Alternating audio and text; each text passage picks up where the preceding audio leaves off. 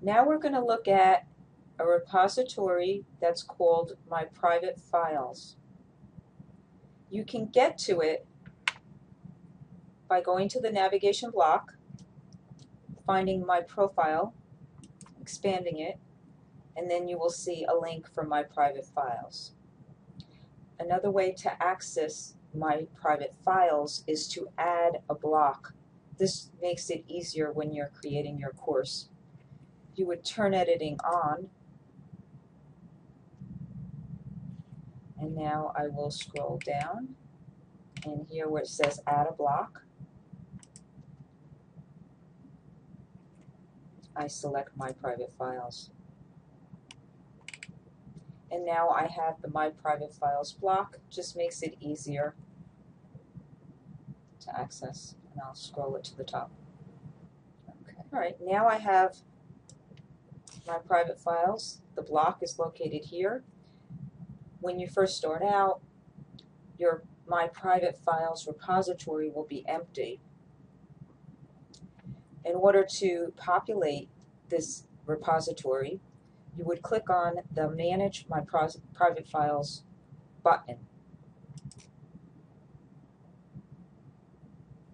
This takes you to an area where you can store files that you want to access from multiple courses.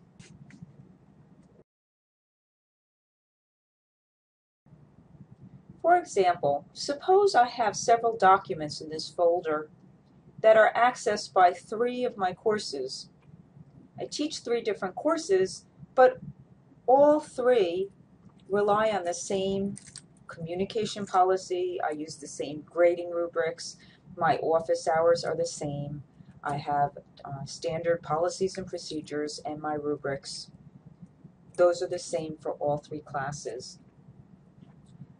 My private files allows me to store these files in one location and link to it from any of my shells.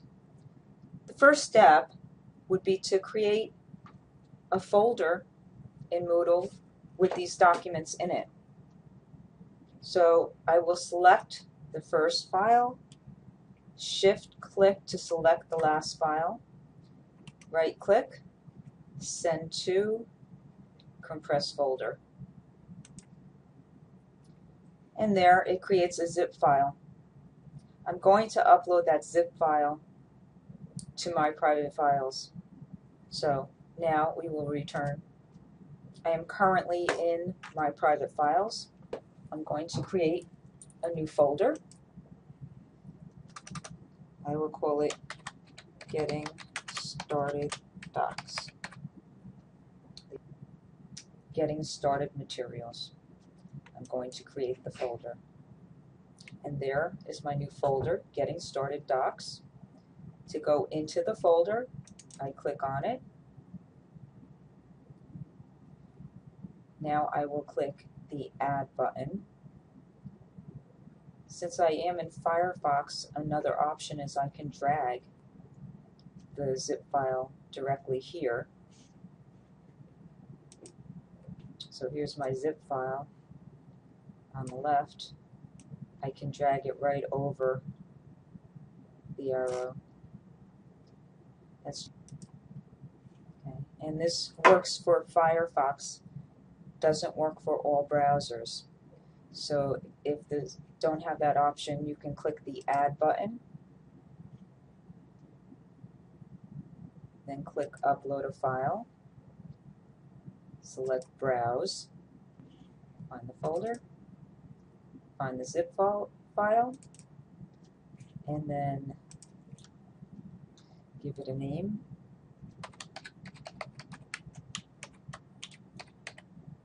And then I will click upload this file.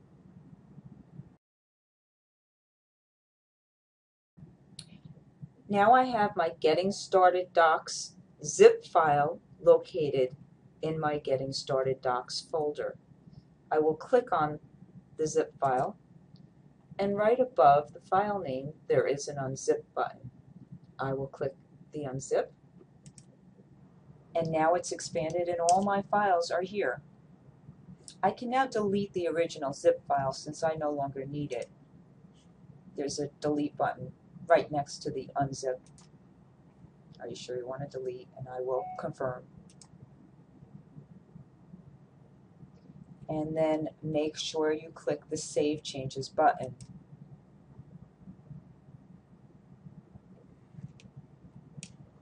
And now I have a folder called Getting Started Docs with the files in it. So now I want to be able to access the files from each of my courses. I can access my course one at a time by going to the navigation block and selecting the course from my list. So I will turn editing on. Now I can add a link to the files that are my private files. Instead of having three copies for each of my three courses, when I go to add the file, I'll give it a name, my office hours.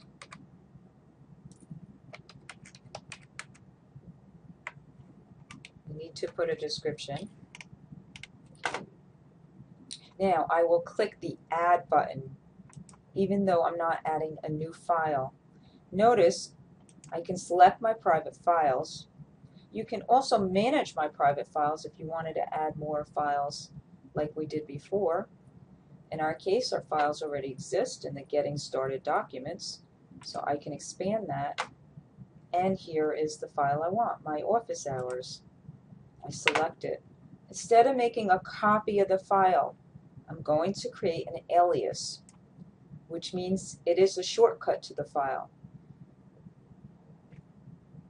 What's nice about this is if my office hours change and all three classes are pointing as a shortcut to that file, I only need to make the change to update the file in my private files and all the links will be automatically pointing to the updated file.